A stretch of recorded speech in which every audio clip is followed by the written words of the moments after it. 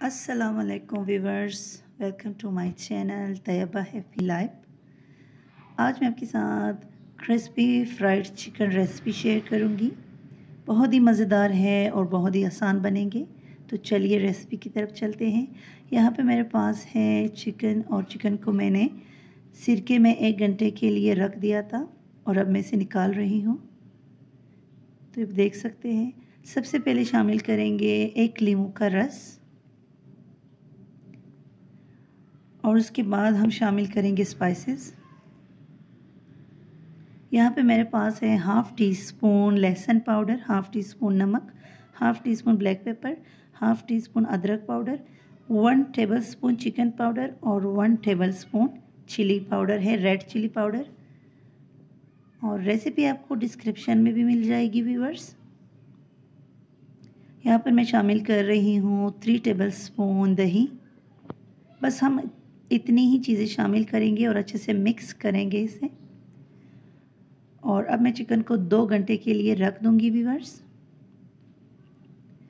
और यहाँ पे मैं कोटिंग के लिए एक कप मैदा ले रही हूँ और थ्री टेबल स्पून कॉर्नफ्लोर ले रही हूँ वीवर्स उसके बाद half teaspoon black pepper शामिल करूँगी और नमक हंसब ज़रूरत शामिल करूँगी थोड़ा सा। और फिर मैं शामिल करूँगी इसमें half teaspoon red chilli powder है। और साथ ही मैं one tablespoon chicken powder शामिल कर रही हूँ। तमाम चीज़ों को अच्छे से मिक्स कर लूँगी मैं व्यूअर्स और अब हम चिकन की कोटिंग करेंगे मैदे में। अच्छे से मैदा लगाएँगे चिकन को। इस तरह से आप देख सकते हैं। अच्छे से कोटिंग होने के बाद एक बार हम मैदे की कोटिंग करेंगे, फिर पानी में डिप करेंगे, फिर दोबारा मैदे की कोटिंग करेंगे और कुकिंग ऑयल में इसे फ्राई कर लेंगे। बस इतना सा ही है, बहुत ही आसान रेसिपी है, बहुत जल्दी बन जाते हैं और बहुत ही मज़ेदार होते हैं। तो एक और चिकन पीस में उठाकर आपके सामने देखे मैदे की कोटिंग इस तरह कर रही हूँ। तमाम मैदे की कोटिंग मैंने कर ली है एक बार और चिकन देख सकते हैं। अब दोबारा मैं इसे पानी में डिप करूँगी, इस तरह से। एक बार फिर मेहंदी की कोटिंग करेंगे। बस यही रेसिपी है, बहुत ही आसान है, बहुत जल्दी बन जाते हैं। और ये देखिए, दो बार कोटिंग हो गई है चिकन की। और अब हम इसे फ्राई कर लेंगे और कुकिंग ऑयल मैंने अच्छे से गर्म कर लिया है, चूल्हा मैंने तेज़ रखा हुआ है। और यहाँ पे देख सकते हैं और इससे बहुत ही मज़ेदार क्रिस्पी जिंगर चिकन बनेंगे यहाँ पर।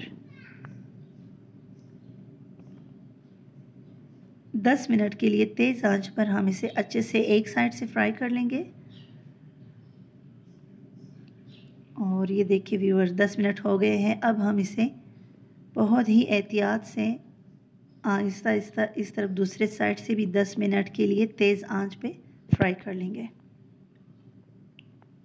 चूल्हा कम नहीं करना, तेज़ चूल्हे पे ही हम इसे फ्राई करेंगे। इस तरह से बहुत ही एहतियात से इस तरह पलटाएँगे, ताकि कोटिंग उतर ना जाए। वैसे कोटिंग उतरती नहीं है व्यूअर्स जिस तरीके से मैंने आपको बताया है, ये देखिए आपके सामने है। और आखिर में भी मैं आपको कुकिंग ऑयल दिखा दूँगी कि कितना साफ़ सुथरा है। और इस तरह से तेज़ आँच पर 10 मिनट के लिए मज़ीद फ्राई कर लेंगे। तो देखिए व्यूवर्स अब मैंने चूल्हा कम कर दिया है ताकि चिकन अंदर से अच्छे से फ्राई हो जाए।